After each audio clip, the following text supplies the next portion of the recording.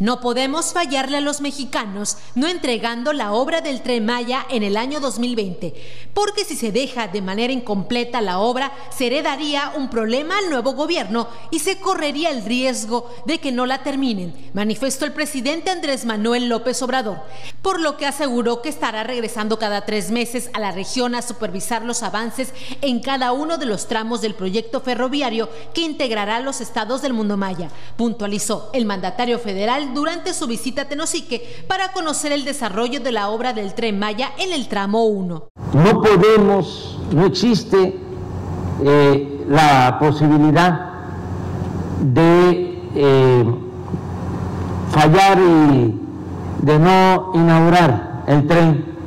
en el 2023. No, eh, hay más tiempo.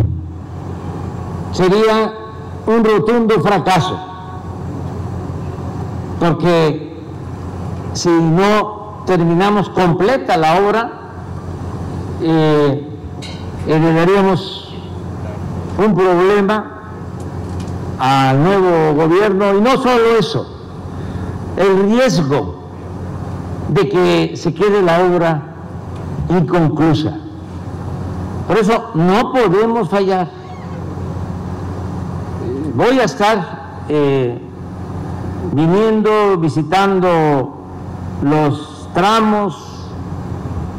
voy a estar con ustedes en el marco de la cuarta gira de supervisión de avances de obras del Proyecto Integral de Desarrollo Tren Maya, el presidente de México, Andrés Manuel López Obrador, constató los avances presentados al corte en el tramo 1 en la estación Boca del Cerro Tenosique, donde señaló que los avances de la obra son notables. En el tramo que comprende Palenque, Escárcega en Tenosique, Tabasco, acompañaron al presidente el gobernador Adán Augusto López Hernández, el director general de Fonatur, Rogelio Jiménez Pons, y el director de Mota Angel América, Joao Parreira. Ante ellos, el presidente expresó que este municipio, al igual que Balancán, forma parte de un eje ferroviario de 228 kilómetros que abarca los estados de Chiapas, Tabasco y Campeche, y dijo que como nunca antes el sureste ha recibido una inversión pública federal sin precedentes a través de proyectos prioritarios, con el fin de equilibrar su desarrollo con el centro y norte del país. El presidente señaló que es notorio y no se puede ocultar que se le está dando preferencia al sureste del país, ya que en años anteriores había quedado en el abandono. Sí es eh, notorio, no podemos eh, ocultarlo, que se le está dando preferencia al sureste. Hay más inversión pública federal ahora en el sureste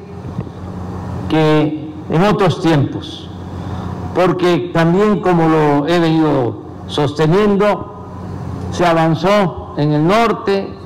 hubo crecimiento económico, lo mismo en el centro, y el sur y el sureste quedaron en el abandono. Ahora lo que queremos es equilibrar. Con imágenes de Raúl Espinosa, Marisol Mateos, Noticias TVT.